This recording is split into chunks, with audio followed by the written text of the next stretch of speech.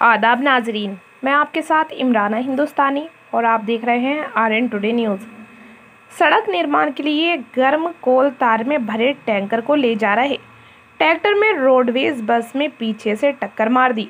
टक्कर लगने से टैंकर में जा रहा गर्म कोल तार छलक कर लोगों के ऊपर जा गिरा, जिससे वह घायल हो गए। मामला सियोहारा के धामपुर रोड स्थित गाँव चंचलपुर के पास का है, जहाँ सड़क निर्माण का कार्य चल रहा था। हादसा उस वक्त हुआ, जब सड़क निर्माण के लिए गर्म कोल तार से भरे हुए टैंकर को ले जा रहे ट्रैक्टर में पीछे से आ रही रोडवेज़ बस ने टक्कर मार दी। धामपुर डिपो की रोडवेज़ बस सवारियों को लेकर सिहारा से धामपुर की ओर जा रही थी। बताया जा रहा है कि कोहरे के कारण बस चालक को ट्रैक्टर टैंकर दिखाई नहीं दिया और बस पीछे से ट्रैक्टर टैंकर में टकरा गई। टक्कर लगने से टैंकर में रखा गर्म कोल तार छलक कर ट्रैक्टर में बैठे मजदूरों और सवारियों पर जा गिरा, जिसमें 45 वर्षीय विनोद कुमार, पुत्र मुकंदी सिंह निवासी मोहल्ला गोंगी सराय पैंतीस वर्षीय मुकीम अहमद पुत्र अमीर अहमद मोहल्ला मुस्लिम चौधरीयान, उन्नीस वर्षीय विकास पुत्र विनोद कुमार, मोहल्ला गोंगी सराय पचपन वर्ष सतीश कुमार पुत्र फूल सिंह, मोहल्ला बसंतगढ़, चालीस वर्षीय हेमराज पुत्र जसवंत सिंह, ग्राम केशवपुर बुरी तरह झुलस गए। मौके पर मौजूद ग्रामीण व ग्राम प्रधान अंकित चौधरी ने लोगों के साथ मिलकर घायलों को सामुदायिक स्वास्थ्य केंद्र पहुँचाया।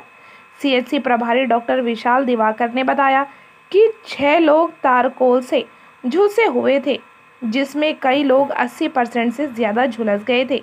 सभी को प्राथमिक उपचार देने के बाद हायर सेंटर के लिए रेफर कर दिया गया है। देखते रहिए आर एन टुडे न्यूज़। ग्राम प्रधान तो साहब, ये जो हादसा हुआ है आज आपके गाँव में, कैसे हुआ? क्या मामला पूरा? ये सुबह सुबह एक तारकोल का ट्रैक्टर और टैंकर सिहारा से धामपुर की तरफ़ जा रहा था और पीछे से आती हुई रोडवेज़ बस ने उसे तेज़ी से टक्कर मार जिसमें उसमें गर्म गोल तार था। वो गोल तार छलक के, जो मुसाफिर बस में बैठे थे और जो ट्रैक्टर पे सवार लेबर थी, उस पर सब पे गिरी। और ये हादसा देख के गाँव वाले इकट्ठे हुए, उधर से मैं अपने घर से आया जल्दी से। हम लोगों ने 112 पे और 108 पे फ़ोन करा लेकिन फ़ोन नहीं लगे नहीं उठाए। इस बीच में हमने एक थ्री व्हीलर लेके पकड़ा और सभी जितने भी पीड़ित थे उन्हें छोटे थ्री व्हीलर में बैठा के और सरकारी अस्पताल पहुँचाया। जल्दी से जल्दी। तो यहाँ पे आला अधिकारी आ गए थे पुलिस वगैरह आ गई थी? नहीं हमने पुलिस को इन्फॉर्म करा अपने हल्का इंचार्ज को भी मैंने फ़ोन करा। उसके पंद्रह बीस मिनट बाद एस साहब भी गाड़ी से आए और पुलिस वाले भी आई तब तक हम अपना जो बीमार लोग थे उन्हें अस्पताल लगभग कितने लोग घायल होंगे? लगभग सात से आठ। आज एक एक्सीडेंट आया है सामुदायिक स्वास्थ्य केंद्र में सुबह तो उसमें क्या मामला है पूरा?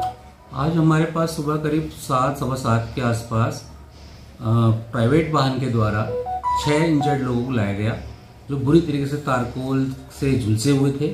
चेहरे से लेकर नीचे तक लगभग जो हमारे डॉक्टर साहब इमरजेंसी ड्यूटी पे थे बता रहे थे कि 80 परसेंट के आसपास वो बर्न है। उनका सभी का हमने प्राथमिक उपचार किया।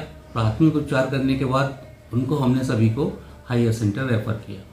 बताया जा रहा है कि चंचलपुर गाँव सभी ताज़ा खबरों से जुड़े रहने के लिए हमारे चैनल आर एन टूडे को सब्सक्राइब करें और बेल आइकन पर क्लिक करें।